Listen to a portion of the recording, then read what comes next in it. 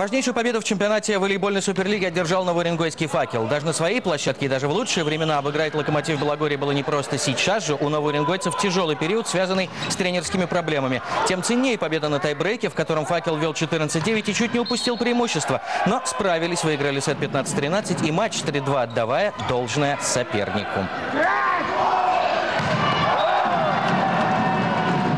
Они тоже, знаете, не первый раз в волейбол играют. Они прочувствовали, опять же, нашу слабинку, и они используют, не буду говорить, э, что за слабинка.